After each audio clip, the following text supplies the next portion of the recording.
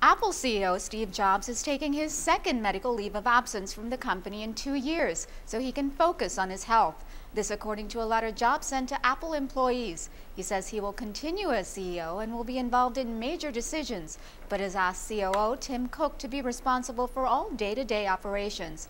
Jobs is a pancreatic cancer survivor and took a six-month leave of absence in 2009 to undergo liver transplant surgery. Karina Mitchell for CBSNews.com.